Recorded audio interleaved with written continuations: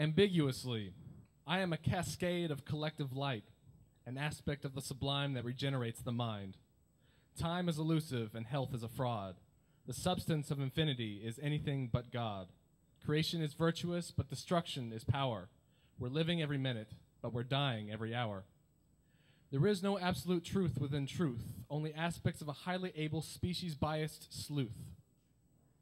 Their considerations are endless, but only few see generation. Your constant frustrations, frustrations are senseless, but all see conglomeration. We're species living off pieces of rotten redemption, starving yet gluttonously devouring the need for exemption to take a part away from the cycle that we deny. We've torn apart the sky, yet we still demand the right to fly. Those with spiteful tongues are condemned, yet those who speak ill truth are commended. As the fire burns brighter, we will shield our eyes.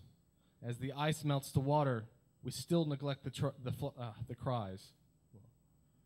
Unconsciously, we thrive. Unanimously, we dive, headfirst into the whirlpool of lives contrived.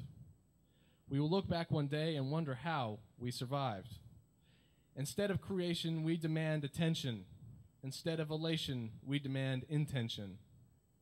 The needs of others are met with the needs of our own. The inhumanity of humanity continues to be sown. Some may say that my words they can't trust. Some may say that, my, my, that they are blades that I have thrust. Say what you must, but don't call me unjust. For what flows from my lips you may not want to hear. To most of it, perhaps you'll never adhere. However, within this is the underlining allure. What I am is no prophet, nor silver bullet cure.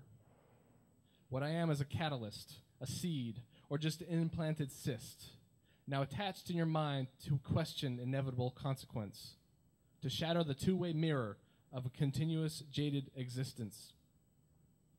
What do you see with your eyes? What do you taste with your senses? Are you comprehending or just compensating? Are you questioning or simply considering?